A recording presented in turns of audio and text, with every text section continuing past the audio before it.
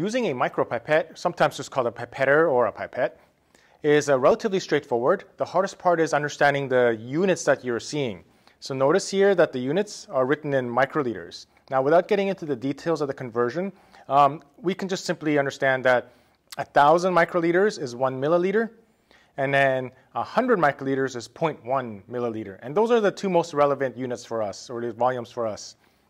To change the volume, simply turn the dial. Just be careful, don't turn it up, even though it'll let you. Don't turn it up, otherwise you can damage the mechanism.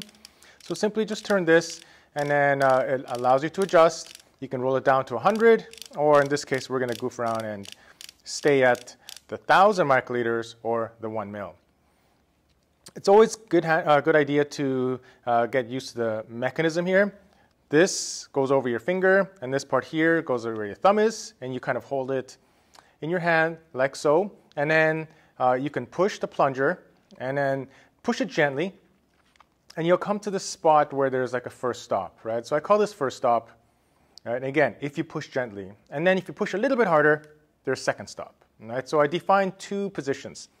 First stop, second stop. Okay? So remember that. First stop, second stop. Now you got to push gently because if you push hard, you can go all the way down to second stop with your first push, right? So first stop, second stop. In order to get uh, any type of liquid, we need to use tips, right? So simply open, keep it sterile. So open one, grab it, and then we close our box.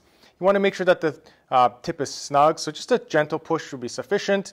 Sometimes if it's a little bit loose or if it feels loose, you can just give it a bit of a push, right?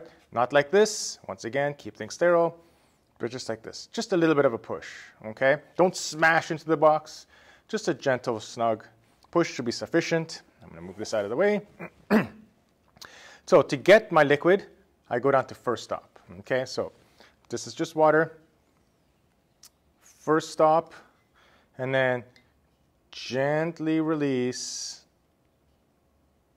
to get your liquid up, okay? So let me show you what it looks like on this end. First stop into the liquid, gently release. Don't pop it open, for example. Don't do this, all right? Nice and slow, making sure that your pipette tip stays in the liquid the whole time. Sometimes if you're not paying attention, and then you start to lift, and then your pipette tip comes up, you're going to start to get these bubbles, right? So just be aware of that. Make sure that you're in the liquid at all times. First stop, nice and slow. And then you have one milliliter in your pipette tip. To eject, simply go in. I don't like to airdrop if I don't have to, right? I always prefer to let it touch the liquid or touch the side of the tube, but sometimes you airdrop. But in this case, I'm going to let it touch the side of the tube.